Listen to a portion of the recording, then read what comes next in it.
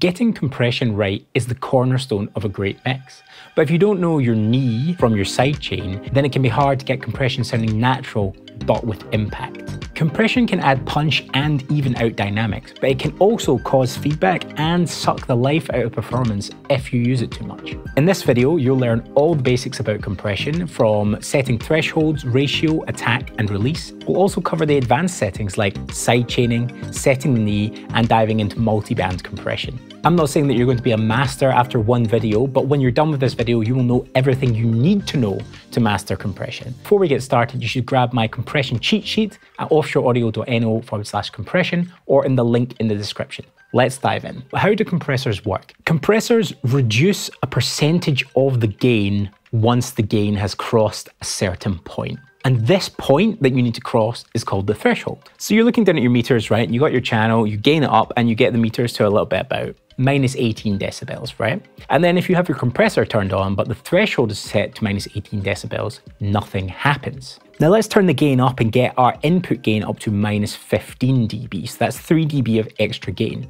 Now the compressor kicks in on that channel. And what happens is that although you've increased the input gain by 3 dB, you won't get 3 dB into your channel fader and then sent to your outputs because it is being compressed. The ratio is the setting that controls how much of that extra gain will reach your channel fader.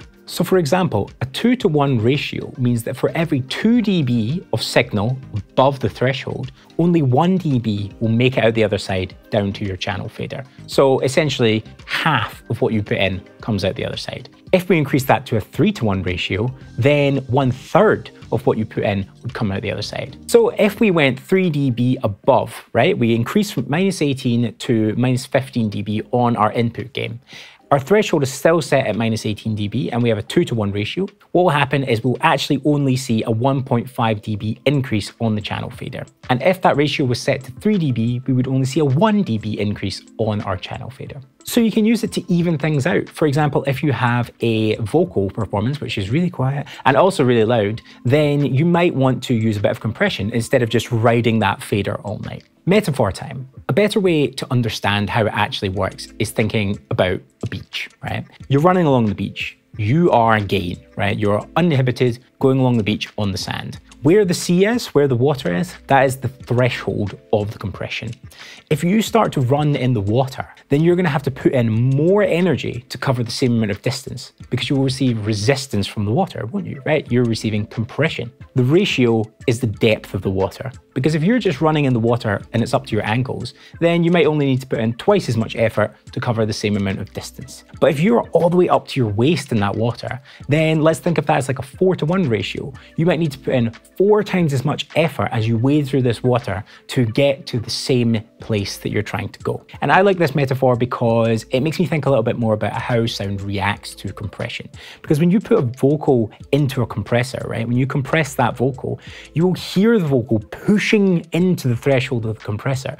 You will hear it almost as if like it is impeded by something. It is being softened. And I think that that is sort of like in the sea. Maybe it didn't make sense, but you've got the technical definition as well. So we have a couple of other really important basic settings on a compressor, right? You have the attack time and the release time. Now, in simple terms, the attack time is how quickly the compressor activates once the gain has crossed the threshold, right? So as soon as your gain trips over 18 dB, how quickly does that compressor get into action? And the release time is the opposite, right? It's once that gain drops below the threshold again, how quickly does the compression stop happening? So let's think about a drum, right? A snare drum. When you hit the snare drum, there's the initial impact, the attack, and then there's the tail as the drum rings out. If you have a really, really fast compressor, then the compression starts the second that that initial impact crosses the threshold, right? So you're compressing the whole drum sound. But if you set a longer attack time, then you might actually miss out that first initial whack of the snare, and the compression starts later and affects the tail the resonance of the drum. Similarly, if you paired a very fast release with that very fast attack, you might only tame that initial whack of the snare drum, and you would be essentially bringing that peak down more in line with the resonance, the tail. You would even out the sound of the drum. Or if you had a really, really long release time and quite a long attack time, you let that initial transient through, but you are sort of squashing the tail, the resonant section of that snare drum. Again, this is pretty nebulous. It's quite difficult to conceptualize that. So let's go back to the water metaphor. The attack time is how quickly you end up in the depth of water, right? So if you're running along the beach, you are gain, and then suddenly there is a puddle. The puddle is shallow, therefore it's a low ratio, call it two to one, and suddenly you're in the puddle. That's a fast attack time because you just fell straight in there. The compression happened at once very quickly, you need to use more energy to cover the same amount of distance. You need more gain to get the same amount of output. However, if you ran straight head first into the sea and there was a gentle slope down, that's a very, very slow attack because as you run into the water, at first you keep your energy up, right? You're making good progress. But as you get deeper and deeper into the water, the full weight of the compression hits you.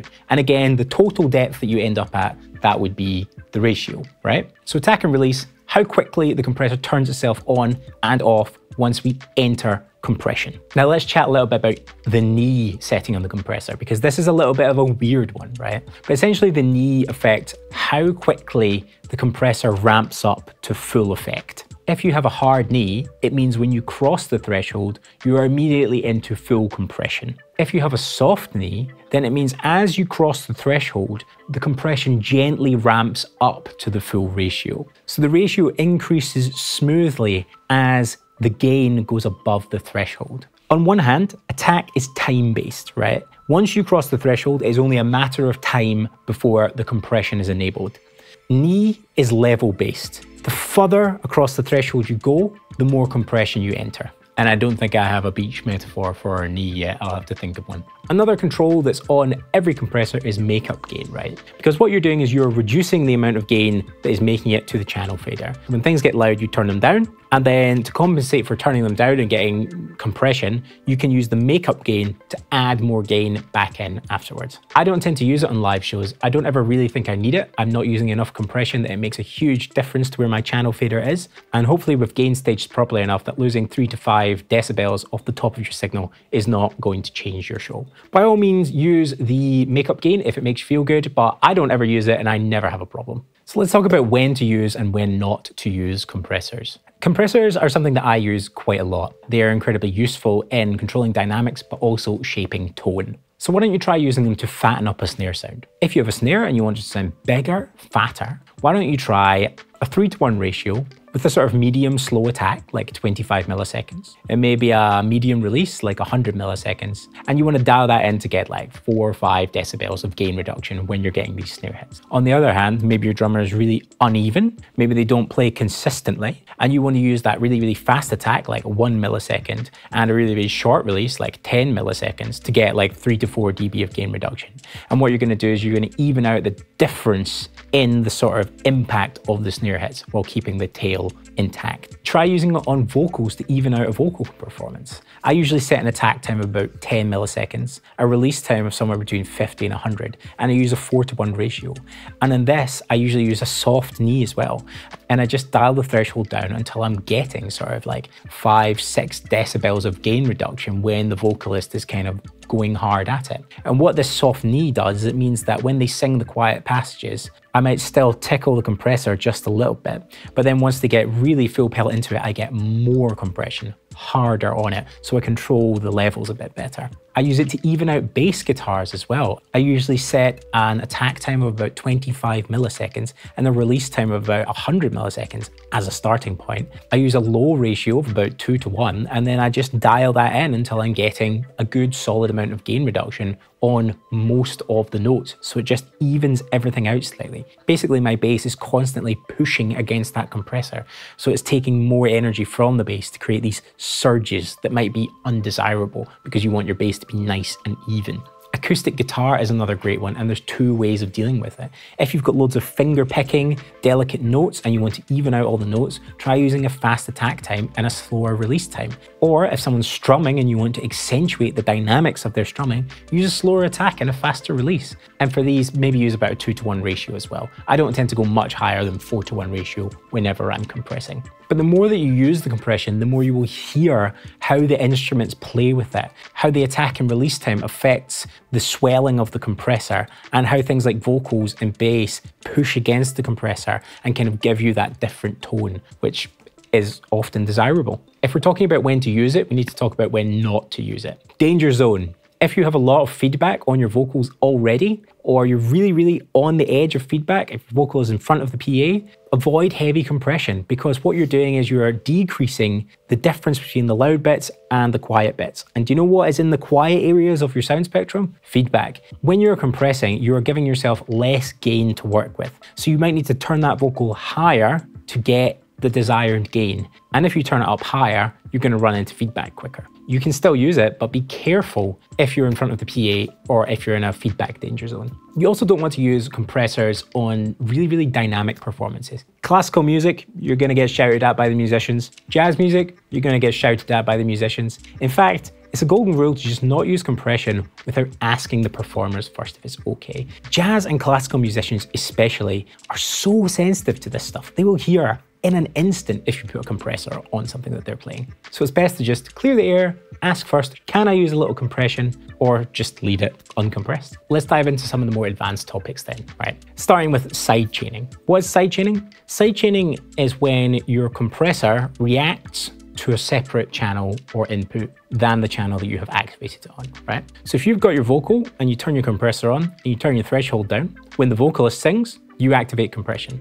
If you use a sidechain input, then you can turn the compressor on on the vocal, but have it only activate compression when the bassist is playing. Now, that's a terrible example, so let's use a better example. Your bassist is playing, and you turn the compressor on in their channel, but you actually want it to only compress heavily when the kick drum sounds. So you use a sidechain input on the bassist's compressor, and you tell it to listen to the kick drum. That way, every time the kick drum is played, the bass guitar is going to dip and you can use your controls, threshold, ratio, attack, release, to determine how much the bass guitar is going to dip in volume every time the kick drum plays. You might have an MC on the stage with a backing track, and when they're not performing, you want the backing track to be louder. Maybe you're going to have a compressor on the backing tracks sidechained to the MC's vocal mic. So whenever the MC sings, shouts, talks. I don't know. What does an MC do? Whenever they do something with their microphone, it dips the backing track a little bit. So that allows their vocal to come through easier. And when they stop singing,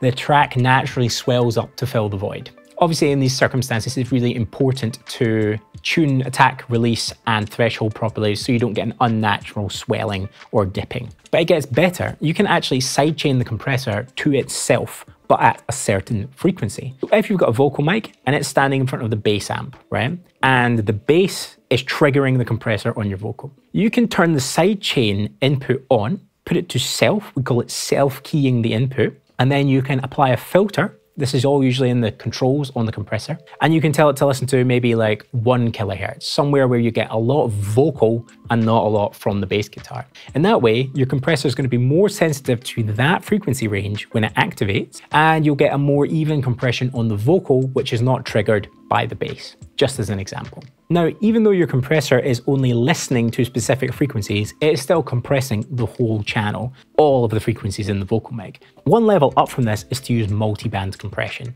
And this is the same thing, except that you actually only compress that section of the frequency spectrum. I used it the other day because I had a vocalist who was sometimes just a little sibilant. I put a compressor on everything above 2 kilohertz. And that way, it's only when they approach the microphone from a certain direction and give a certain performance that the compressor kicks in on those specific frequencies. If I had just turned those frequencies down, then the vocal might have been too dull for the performance. But because I was compressing just those high frequencies, it means that less of the sizzle and high frequency content from that vocal performance is coming through into the PA but only when it's present. You might also use this on bass guitar. If you have a little bit too much of certain frequencies that come through on certain notes on the bass guitar, you can just set up a multiband compressor to only compress that area, let's say mids from 100 to 500, only compress that area when the bassist plays the notes that are problematic. Now you also find different types of compressors.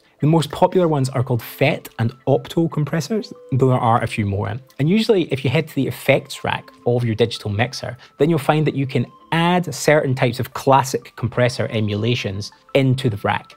And what you do then is you set up an insert point using the channel that you want to compress. I've got a whole video on insert points, I'll leave it up here somewhere. But these different types of compressors operate in slightly different ways. FET compressors tend to be a little bit more punchy, a little bit more aggressive, and you might use them to add character to a sound when you want it to have a more distinct characteristic. You don't want to be transparent at all. While opto compressors are generally more gentle sounding, more transparent, and you use them to control gain without sounding really, really compressed. So if you are beyond the basics of compression and you're looking for an extra bit of spice in your live sound engineering life, God knows we all need that, then you might try out FET and opto compressors, which you'll find in the rack on your mixer. The last thing I want to talk about is expanders, because they're not really compressors, but quite often you find them on the compressor page on your digital mixer. And what an expander does is the exact opposite of a compressor. Whenever the signal, the gain, crosses the threshold that you set, it gets an extra boost. If you set a ratio of 2 to 1, then for every 1 decibel that crosses the threshold, 2 decibels of signal would get sent to your fader. This can be really helpful for having less drum spill in your vocal microphones, and when the vocalist starts singing, it gets that kick up in gain that it needs. This is not a video about expanders though, so if it's on your mixer, go and have a play with that. I hope that was helpful. Here's a video on gating if you need more mixing tips, and if you need to know how to insert your fancy compressors, I'll leave a video up here. Leave a comment, let me know what compression settings you're using, and if this was helpful, like the video and subscribe to the channel. I'll see you in the next one. Goodbye.